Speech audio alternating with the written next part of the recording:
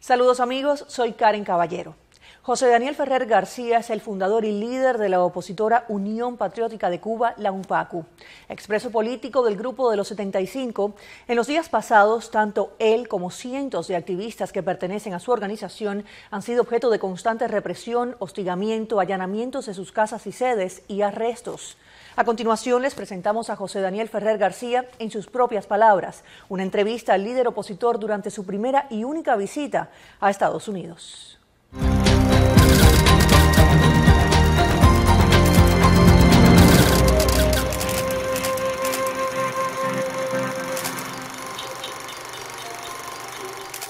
José Daniel Ferrer García, qué gusto tenerte con nosotros, muchas gracias. Sí, mira, primero agradecerles por invitarme acá a los estudios de TV Martí. Este es uno de los momentos más felices de mi vida. Hacía mucho tiempo que, vamos, deseaba pasar por aquí, poderles saludar y agradecerles también por las cosas que hacen muy positivas para informar y animar al pueblo cubano ¿no? a conquistar sus derechos y, y a vivir con dignidad. Hoy puedes salir por una única vez, porque tras ser excarcelado el régimen no te permitió salir de tu país y ahora te lo permite por esta vez. ¿Por qué? Esta autorización del régimen a que salga de Cuba por una vez se debe a una combinación de factores, pero el que terminó decidiéndolo fue la visita y la petición del gobierno estadounidense al régimen cubano. Nadie lo ha dicho públicamente, pero tenemos elementos precisos que ponen en claro que la petición la hizo el gobierno norteamericano y el régimen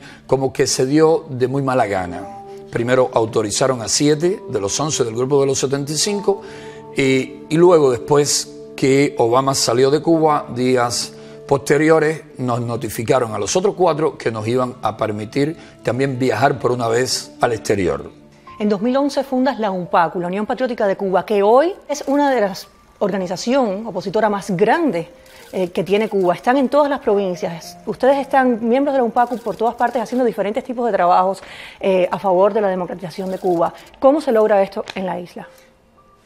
El régimen mismo me dio las herramientas. Y en la prisión comprendí que si no articulábamos un fuerte movimiento que combinase hábilmente el valor de los más valientes con la labor social y con la divulgación y promoción y propaganda, que llegase a la mayor cantidad de hogares cubanos y todo esto amparado en un proyecto, en un programa claro, entendible, eh, vamos, que pudiese asimilar la mayoría de los cubanos y que le, interas, y, le interesase a la población. No íbamos a alcanzar eh, nuestras metas, es decir, la meta principal la democratización de Cuba. Salgo de la prisión el 23 de marzo del 2011, junto a Félix Navarro, soy el último en ser encarcelado. Y ya me había puesto de acuerdo con Luis Enrique Ferrer a través de un código que teníamos, clave que teníamos para, por números, eh, podernos comunicarnos. Luis Enrique Ferrer, muy válida la aclaración. Luis Enrique tampoco quería salir de Cuba, pero como ya tenía en proyecto hacer lo que hoy venimos haciendo, necesitábamos a alguien en quien confiar, que conociésemos y a la vez confiase en nosotros y nos conociese a nosotros. Y hoy es el representante, es el representante de la UNPACU en el exterior. En el exterior. Uh -huh. Entonces, con Luis Enrique me pongo en contacto con códigos, ellos nada más oían que yo decía un número por teléfono que iban a mi hermana y mi hermana lo transmitía a mi hermano, 5, 20, 25, 80, 32, no sabían qué yo estaba diciendo y lo que le estaba diciendo a Luis Enrique, vete y yo me quedo. Pasamos desde abril hasta agosto buscando el nombre que íbamos a darle a la organización. Y eh, a principios de agosto o ya a mediados de agosto nos pusimos de acuerdo o dimos ya eh, por hecho de que nos íbamos a llamar Unión Patriótica de Cuba. Y cuando oímos las siglas nos asustamos. U, eh, P, C. Nos paralizamos. Digo, no, no, no, no, espérate, esto no, no, las siglas nuestras no pueden ser esas. Y Luis Enrique terminó aconsejándonos, Luis Enrique Ferrer, bueno, ¿y por qué no usamos dos letras de cada palabra? Y de ahí sale Unión Patriótica de Cuba. Cuando empezamos a analizarlo, alguien nos dice, oye, sí, ¿qué somos? Un PACU. ¿Y qué es un PACU? Patriotas cubanos que luchan por la libertad, por la democracia, por el respeto a los derechos humanos y el bienestar de la nación. Le digo, me gusta eso. Vamos a someterlo a la aprobación de, lo, de los demás. Éramos pocos en ese momento. Claro. Éramos apenas cincuenta y tantos, sesenta ya por todo el oriente, por, por, tres o cuatro pueblos, disculpa, del oriente de, de Cuba. Uh -huh. y se aceptó el nombre y empezamos con el nombre. Hoy por suerte somos muchísimos más. ¿Cuántos son hoy en día? Bueno, en este momento tenemos contabilizado entre 3.100, 3.200 personas desde San Antonio a Maicí. La mayoría en Santiago de Cuba. En Santiago de Cuba tenemos casi el 50% de nuestros activistas en la provincia de Santiago de Cuba. ¿Cómo se financia la UNPACO? De diferentes eh, maneras. Generalmente la mayoría de los fondos que recibimos provienen de los Estados Unidos, de cubanos exiliados que trabajan muy fuerte, que hacen esfuerzos muy grandes por ayudarnos a luchar por la libertad dentro de Cuba. Desde el inicio hemos contado con personas de organizaciones exiliadas y con personas privadas, obreros, que sacan 20 pesos de su bolsillo, que nos ponen una recarga a nuestros teléfonos móviles, que mandan una medicina, que nos ayudan a comprar papel, que nos envían discos de DVD, que nos envían un teléfono celular. Es decir, hay muchísimas vías. Eh, la mayoría de nuestros proyectos vienen manteniéndose y desarrollándose gracias al apoyo de la Fundación Nacional Cubana Americana y de su eh, eh, estructura que lleva por nombre, por su labor a favor de los derechos humanos, eh, Fundación para los Derechos Humanos en Cuba. Pero otras personas privadas nos ayudan muchísimo. Incluso ahora, durante los días que llevo en Miami, ya he contactado con cuatro o cinco personas que tienen recursos que quieren ayudar a, acelerar el proceso de democratización de Cuba y ayudar a las personas que más sufren las consecuencias de la represión. Eh, José Martí pudo eh, estructurar la guerra de independencia, la guerra del 95, gracias a los tabaqueros de Tampa, de Tampa y Cayo Hueso y a donaciones de cubanos que vivían en los Estados Unidos. Nosotros seguimos diciendo que recibimos apoyo y ayuda de los cubanos honestos, de los cubanos que han conseguido sus recursos trabajando fuerte en tierras de libertad, en tierras de oportunidades y han podido hacer eh, su vida o que eh, dan de lo poco que tienen. Ahora, José Daniel, ¿cuál es la postura de la UNPACU sobre este nuevo acercamiento de Washington hacia La Habana? La solidaridad del exterior tiene muchísima importancia. Sin ella no podemos desplegar con efectividad nuestra lucha dentro de Cuba. Este tipo de política, la actual política del gobierno norteamericano, nos viene demostrando que nos ayuda más a difundir nuestra labor, nuestro trabajo, y, no solamente dentro de Cuba, sino también que se conozca en el resto del mundo. Los tres momentos en que más el mundo ha oído hablar de la oposición eh, cubana de la represión en Cuba, de las damas de blanco, de los presos políticos, de la lucha de un pueblo que va perdiendo el miedo y va luchando por sus derechos y libertades, fue precisamente cuando vino eh, o fue a Cuba Roberta Jacobson, su secretaria de Estado para Asuntos Hemisféricos, John Kerry, secretario de Estado, y después Barack Obama. Cuando nos visitan personas solidarias, pues eso nos ayuda a potenciar nuestra lucha y a que se visualice la realidad cubana. Que el régimen va a obtener algunos beneficios, obvio, no hemos visto nunca obra humana que no tenga eh, vamos, que no dé cosas positivas y tenga también sus aspectos de riesgo, sus aspectos negativos. Los vídeos de TV Martí y de otros medios de prensa de 13 activistas de la oposición reunidos con Barack Obama han motivado a muchos cubanos. El mismo vídeo de Barack Obama con el humorista Luis Silva, que entró en muchísimas casas a alentado, ha despertado curiosidad, interés en muchos cubanos, pero los cubanos también ya están diciendo, aquellos que estaban muy mal informados, que no me digan que es el bloqueo, el embargo, el culpable de mis problemas, es el régimen son los Castro, lo estamos viendo. Vemos a un gobierno norteamericano tendiendo la mano solidaria al pueblo e incluso dispuesto a dialogar con una dictadura con tal de ayudar a que las cosas mejoren y el régimen se niega a hacerlo. Pero también vimos otra cosa. Vimos a Raúl Castro haciendo el ridículo como nunca nadie lo había visto en la televisión cubana y tuvieron que transmitirlo por la televisión cubana. Y todos estos factores, más otros que quizás hablemos en otro momento, cuando lo unes, te demuestran que ese tipo de política nos ayuda más que otro tipo de política que impida esos contactos. Ahora, José Daniel, ¿crees que el levantamiento del embargo favorecería de alguna manera a un acercamiento hacia la democracia real en Cuba? Mira, eso es un tema muy complejo porque apenas queda embargo. Si vamos a, la cuestión, ¿qué queda del embargo? ¿Qué podemos decir que queda del embargo? El embargo ha sido más la justificación del régimen para achacarle toda su responsabilidad en el desastre, en la grave crisis cubana, a otro actor y no a quienes en realidad lo tienen. Con o sin embargo, el régimen va a seguir haciendo todo lo posible por mantener a los cubanos en un puño. El régimen, todos estos pequeños pasos, estas mínimas, estas pálidas medidas que ha tomado, estas curitas que ha puesto, estas aspirinas para una grave enfermedad que viene poniendo en práctica, lo viene haciendo porque saben que se le termina lo que habían obtenido de Venezuela, ya la situación de Venezuela, precisamente por sus malos eh, consejos, por, porque aquellos han intentado imitar lo que hicieron los Castro en Cuba, aquello es un desastre, por desgracia, para los, para los venezolanos, pero el régimen astuto ha dicho, vamos a fingir como que estamos dispuestos a movernos para ver si obtenemos algo. Nosotros decimos, ellos están fingiendo como que se están moviendo para obtener cosas de Estados Unidos y del mundo libre. Nosotros no vamos a fingir, nosotros nos vamos a esforzar para sacar el mayor provecho y hacer que lo que obtengan del mundo libre les sepa bastante amargo. ¿Qué ha cambiado en Cuba tras el acercamiento entre Washington y La Habana? Mucho y nada. Cuando digo mucho, eh, te puedo decir que la población sigue perdiendo el miedo y ya no eh, asimila que la culpa es de otro. Los cubanos cada vez muestran mayor descontento, pero no solamente muestran descontento, se manifiestan, expresan públicamente lo que sienten y muchos se van organizando a, las organizaciones, valga la redundancia, que venimos luchando por el cambio, por la democratización, por el bienestar de los cubanos. En otros aspectos no ha cambiado nada. Más bien tenemos más represión porque cuando un pueblo decide a levantarse a ir conquistando sus derechos, la dictadura se pone, eh, decir, mucho más represiva. Es obvio. Temen cada vez más perder el control y entonces reprimen de manera más dura la situación económica es muy crítica, muy lamentable, la gente pasa muchísimas dificultades para alimentarse, para viajar, para obtener una medicina, para obtener un tratamiento médico, todo eso está funcionando muy mal, para tener una vivienda donde vivir. Y el régimen no va a la raíz del problema, no quiere ir a la raíz del problema para que podamos salir de tan lamentable situación económica y sobre todo no quiere permitir eh, o no quiere respetarle a los cubanos sus derechos y libertades fundamentales. Ahí mismo voy, las llamadas reformas raulistas han beneficiado directamente de algún modo a la población en general y específicamente a sus derechos y libertades? No, para nada. Primero, no hay reforma. Por te repito, son pálidas medidas, curas, eh, paliativos.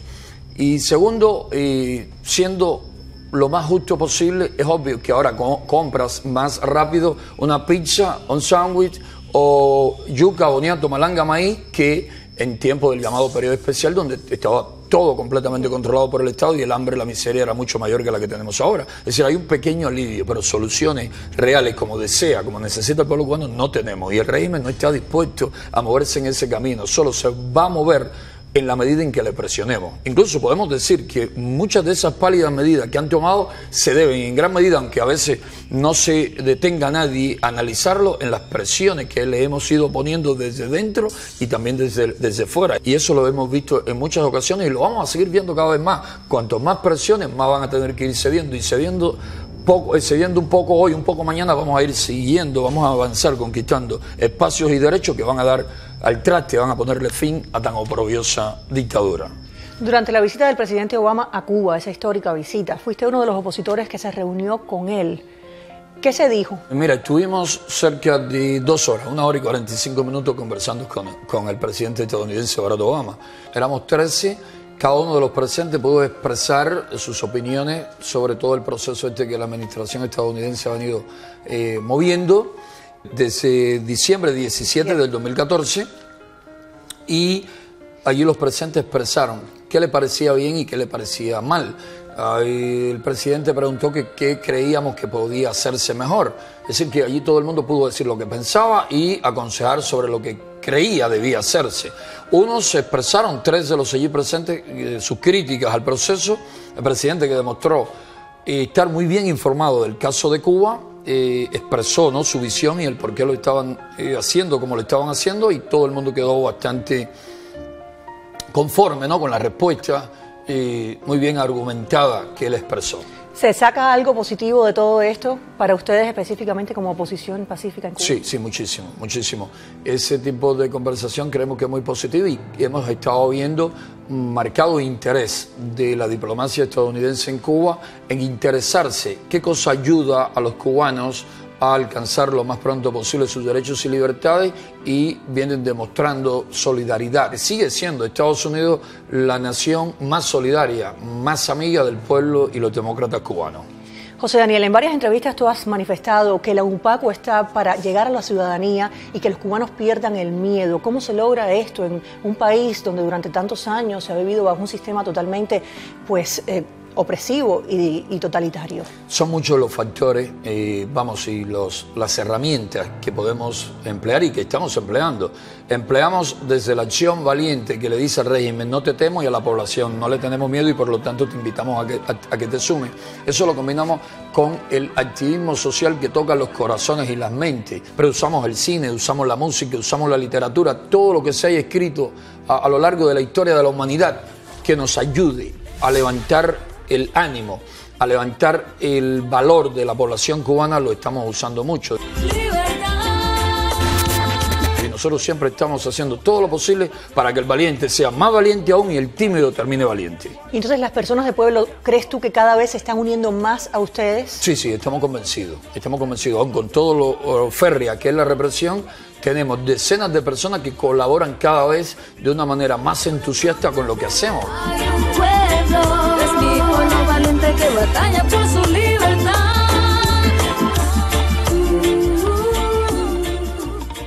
José Daniel, fueron pioneros ustedes en la UPACU del uso de videos para difundir información tanto dentro como fuera de Cuba. ¿Cómo ha sido este proceso y cómo se logra pues seguir y continuar mejorando? Sí, desde que salí de prisión me di cuenta que una de las cosas que paralizaba nuestro eh, desarrollo, nuestro avance entre la población era la casi nula utilización de los materiales audiovisuales. Una imagen dice mucho más que mil palabras escritas o palabras que se oyen pero no se le ve el rostro ni se ven los hechos que se narran. Y eh, no sabíamos nada sobre edición de vídeo, no teníamos la más mínima experiencia. Y me puse a buscar tutoriales, a leer, a indagar, a ver cómo lo hacíamos y luego terminamos buscando en La Habana a un, eh, una persona que andaba buscando unirse a la oposición, pero todavía no lo había conseguido. Y lo, llegó diciendo que quería unirse a la oposición. Yo le pregunté, siempre pregunto esto, ¿qué sabes hacer bien? Me dijo, bueno, yo trabajo con computadora, programo, hago esto, reparo. Le digo, de edición sabe, y dice, lo elemental. Le digo, ¿te quieres ir con nosotros para Santiago un tiempo? Me dijo, sí. Nos llevó programas de edición y empezamos a formar a nuestros primeros editores. He visto muchísimos videos de la UNPACO a lo largo de estos años, pero quiero que nos digas qué tipo de información y de qué forma ustedes distribuyen toda esa información. Sí, eh, producimos muchísima información, ¿no? Lo hacemos generalmente en DVD. Estamos evaluándonos constantemente, dónde más estamos llegando, qué impacto eso tiene, qué resultado da, a dónde no hemos podido llegar, cómo tenemos que hacer para llegar. Y tenemos una red de colaboradores que no salen a la luz pública, que lo hacen de manera discreta, pero que son la más efectiva red que posiblemente haya tenido Cuba en los últimos 50 años para mover información, no solamente audiovisual, sino también impresa. La UPACO también realiza infinidad de programas sociales, lo hemos venido viendo igualmente. ¿Cómo son estos programas? Sí, tenemos proyectos para darle alimentos a ancianitos, todos eh, todavía muy pequeños, es muy reducidos porque la necesidad de personas eh, hambrientas en Cuba, es decir, la cantidad de ancianitos con necesidad de alimentos en Cuba es tal que se necesitan muchos recursos y programas mucho más amplios y ambiciosos, pero vamos dándole comida a un número mayor de ancianitos, el medicamento que necesitan y no encuentran en la farmacia, lo llevamos al hospital, alquilamos un vehículo, buscamos lo que haya que buscar para llevarlo o regresarlo del hospital a la casa cuando le dan de alta porque no hay ambulancia en Cuba, son bien escasas, siempre están rotas, siempre hay problemas.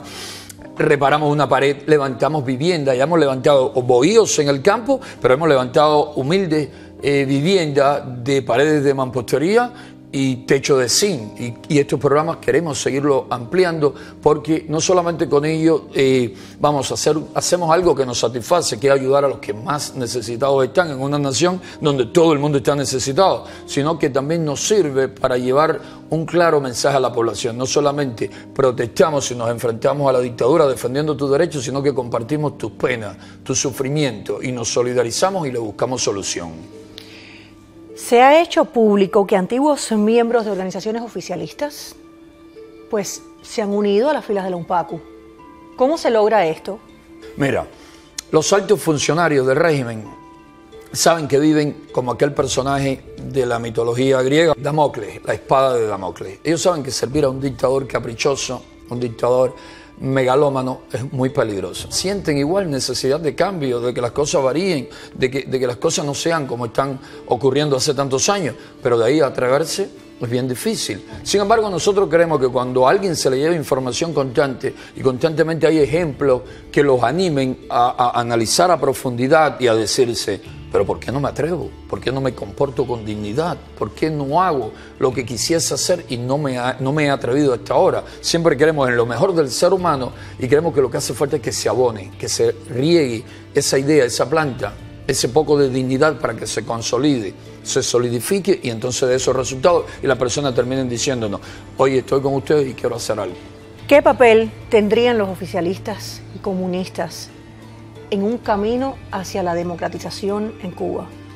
Mucho pueden hacer. De hecho, el caso cubano pasa por un profundo y serio eh, proceso de reconciliación. Nosotros desde la UNPACU siempre le estamos mandando un mensaje a todos los ministerios del régimen, al del Ministerio del Interior, a las Fuerzas Armadas, a los profesores, a los médicos.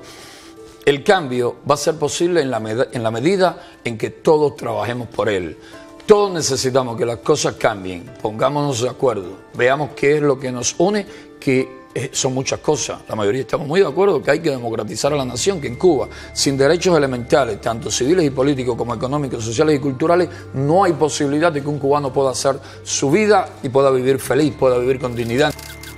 Propuesta constitucional de la UNPACU puntos específicos. Sí, tenemos un programa mínimo y estamos hablando con mucha gente diciéndole que queremos elaborar con la participación de la mayor cantidad de personas posible una propuesta de constitución que luego pues, va a recibir críticas, elogios, que se van a agregar cosas, se van a quitar cosas, porque la verdadera y futura constitución de Cuba la vamos a tener en una asamblea constituyente hecha precisamente con delegados constituyentistas electos democráticamente en igualdad de condiciones, en elecciones verdaderamente plurales donde la población pueda decidir sin miedo quién quiere que redacte sus leyes, ¿no? Y luego habría que someterlo, si de verdad queremos una constitución democrática fruto del sentir de la mayoría de los cubanos, habría que someterla a referendo, ¿no? Es un proceso bien complejo, bien largo y como están las cosas no podemos hacerlo. Nuestro programa mínimo, porque no podemos esperar a que las cosas estén para decir esto es lo que tenemos. Estamos diciendo esto es lo que queremos hacer y lo queremos conseguir de esta manera. Abogamos entre tantas cosas porque sigamos teniendo educación y salud gratuita, pero con calidad, porque con aquella historia, aquel cuento de que son gratuitas, que en el fondo nunca hay nada gratuito, es mucho más lo que cobra el régimen a los cubanos por esos servicios que lo que pagan muchísimas personas en el mundo libre. ¿Dónde está ese costo? En el alto costo de la vida, en los míseros salarios, en el alto costo de productos de primera necesidad, en la crisis que vivimos, en medio, eh, decir, de la más profunda miseria. Eso es lo que con eso es que nos cobran todos esos servicios. Buscamos que la educación, por ejemplo, no siga siendo instrumento de control y de adoctrinamiento político para convertir a la persona en dócil instrumento de una dictadura. Explicamos qué creemos que hay que hacer en materia económica. Los cubanos necesitamos completas libertades para tener pequeñas, medianas y grandes, em, grandes empresas, empresas nacionales y extranjeras, eh, empresas mixtas, para que los cubanos puedan plegar, puedan poner en movimiento su potencial, su talento y hacer de Cuba una nación próspera para todos los cubanos. Hablamos de cómo creemos que debe ser el ejército, el, el orden interno, qué debemos hacer para que funcione, como funciona en el mundo libre. La policía debe estar para velar por la tranquilidad ciudadana, por el orden interno, no para reprimir a quienes piensan diferente. Cuba es una de las naciones donde más delito, donde más delincuencia hay en el mundo, pero los medios de prensa no hablan de eso, solo si la prensa independiente lo dice, se enteran las personas, el robo, eh, asalto, eso está allí a la orden del día, y la policía eh, pasa por alto, no hace lo que debe hacer, muchas veces son hasta cómplices de muchos delitos, sin embargo, bajo órdenes de la seguridad del Estado, siempre están listos para reprimir a damas de blanco, activistas masculinos que pacíficamente quieren soluciones, quieren, queremos soluciones para los graves problemas que tenemos en Cuba. ¡Asesino! ¡Asesino! Has dicho, has reiterado que no te vas de Cuba. ¿Por qué? Eh, por una sencilla razón, lo que se empieza se termina y eh, necesitamos sacar a Cuba de la triste y lamentable situación en que el castrismo la ha hundido. Y todos somos necesarios y todos podemos dar nuestro aporte de donde estemos, pero sin duda, como en toda lucha, la vanguardia está allí dentro, allí, aquel es el teatro principal de nuestra lucha, de nuestras operaciones. Necesitamos apoyo y solidaridad de buenos cubanos desde el exterior, pero allí hay que empujar de la manera más decidida, más enérgica, si no, nunca vamos a obtener la libertad y la democracia del pueblo cubano. José Daniel, estuviste siete años preso, fuiste condenado a 25 años de cárcel. Durante esos siete años mantuviste una posición firme y valiente. Uno de los audios que recibimos aquí en, Los Martí eh, en aquel tiempo es este que quiero que escuches, que fue durante tu tiempo en la cárcel precisamente. Escuchemos. Busca a quien tú quieres, llama a la seguridad, busca a quien te dé la gana. Yo de aquí no me muevo hasta que yo no termine de grabar esto. ¿Tú me entiendes? No, de aquí yo no me muevo. Y si me jala, el teléfono se va conmigo. Esto lo estoy grabando. No, busca a quien tú quieras. Busca a quien tú quieras. Y abajo la dictadura, y abajo el comunismo, y abajo Fidel, y viva Cuba libre. ¿No sentiste miedo?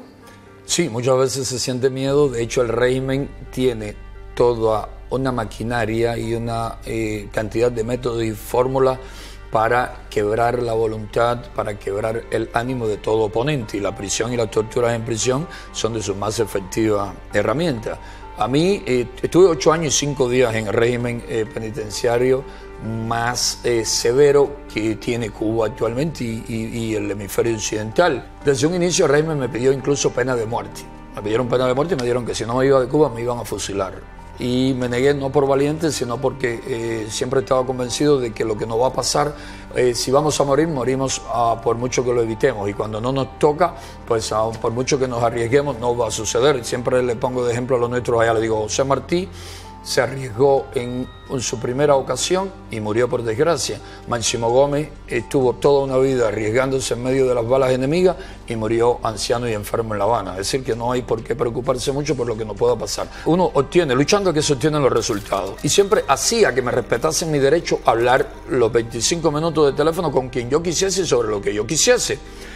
Pero cuando venía un oficial que no sabía que ya ese espacio lo habíamos conquistado, cuando venía un represor, cuando venía un carcelero, pues entonces hacía con nosotros lo que hacían con todos los demás. Pero no lo vas a hacer. Y cuando le vi el rostro a aquel individuo, y que era la primera vez que lo veía, me dije, voy a tener problemas.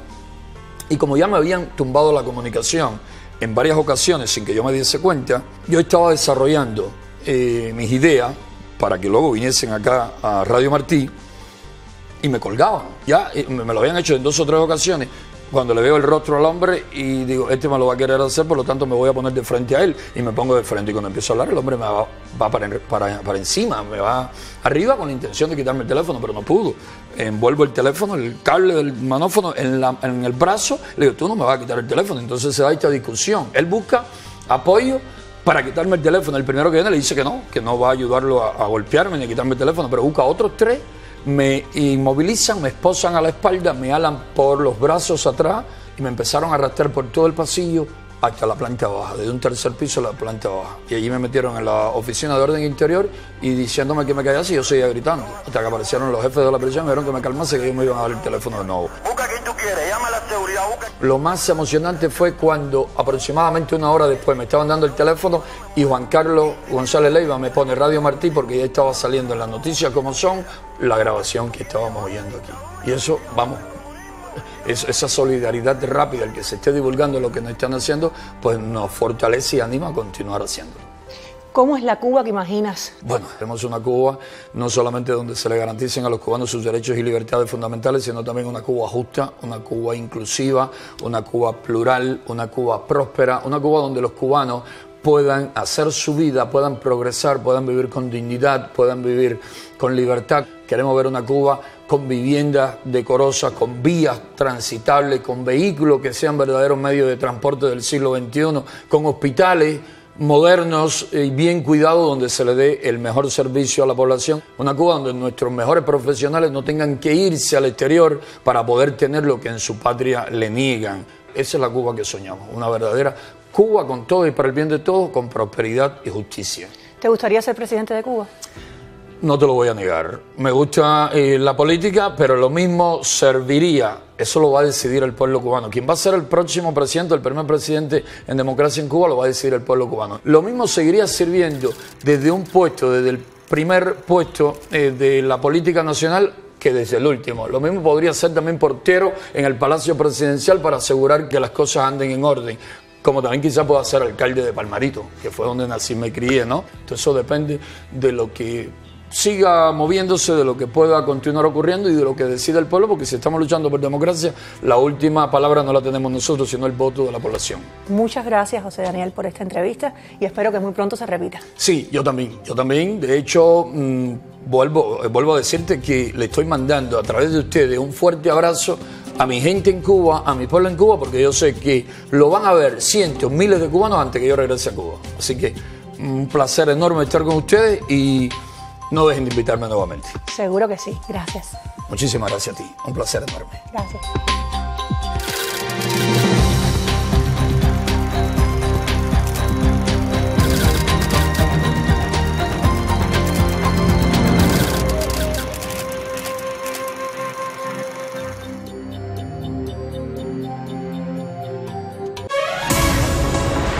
Esta fue una presentación especial de Televisión Martín.